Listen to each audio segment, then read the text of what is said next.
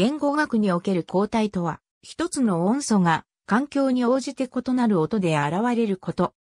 イオン同士の関係。一つの形態素が環境に応じて異なる形態で現れること。異形態同士の関係。分節音の負荷を伴わない形態論的プロセスによる語気の形態の変容。語気変化。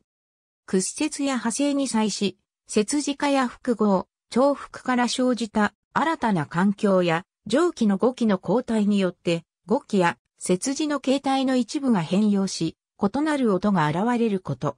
音韻交代。一つの動詞が異なる、高構造に現れること。高構造交代。例えば、日本語の音素、S は、火星、ケーゼと歌詞、歌詞からわかるように、S とを4として持つ。この時、S とは交代の関係にある、と言い、S と表す。例えば、日本語の過去、完了の節字、だは、書いたと、恋だに見られるように、た、と、だ、の二つを異形態とする。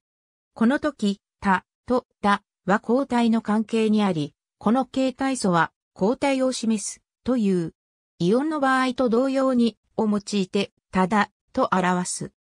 屈折や派生の主な方法は、語気に節字を付加する、節字化や語気と語気の複合など、複数の形態素を組み合わせる、連結的な形態論的プロセスであるが、語気に新たな形態素を付加せずに、語気自体の母音や子音、強制や成長を変化させる方法もある。